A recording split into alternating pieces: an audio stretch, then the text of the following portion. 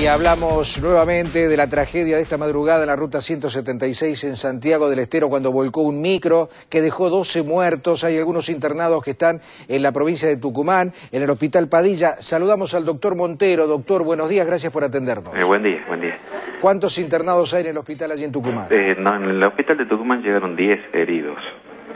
Hospital a partir de las 6.55 fueron llegando. De los 10 heridos, dos derivamos a otro hospital porque eran eh, situaciones leves Podríamos hospital con un traumatismo de cara leve y con un traumatismo de brazo que no revestía gravedad. Y de los ocho heridos que tengo acá, solamente uno, una chica de 20 años, es la que reviste gravedad con un traumatismo severo de cráneo, con edema cerebral, ya está en terapia en respirador y un traumatismo abdominal y pélvico, bueno, le estoy haciendo una ecografía ahora que ya termino con ustedes, la voy a ver para ver si van a esta cirugía abdominal. Eh, doctor, ¿es de un pronóstico reservado esa paciente? Es un pronóstico reservado, está bastante delicada la, chica. ¿Ustedes pudieron comunicarse con, con las familias de las víctimas? No, te digo, actualmente no tenemos tiempo de nada, salvo atenderlo porque estamos todos aquí en la guardia y con 10 personas que llegan juntas.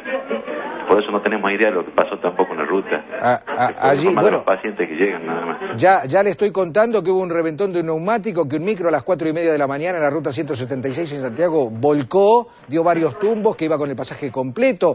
Eh, ¿Están movilizados en el hospital allí en Tucumán, en el Padilla? Sí, sí, ya nos estamos esperando, pero creo que ya no, no, no informaban que no iba a venir nadie más. Hasta ahora, pero pacientes, no tenemos noticias lo que pasa de puerta afuera. Doctor Montero, gracias por habernos atendido, eh, le mandamos un abrazo. Bien, muchas gracias. Hasta, luego, el doctor Montero del Hospital Padilla en Tucumán.